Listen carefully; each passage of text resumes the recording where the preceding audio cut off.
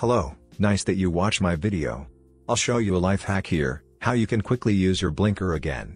This blinker stays on all the time. This is due to a stuck relay. You can find the relay in the fuse box, either under the dashboard or in the engine compartment. In this case the relay, is located above the fuse box behind the dash panel. Now you need a soft object, so as not to leave marks on the dashboard. I just use a nice scraper. You can find the location of the relay, in the operating instructions. You don't necessarily have to open the relay, a few taps on the case should do the trick.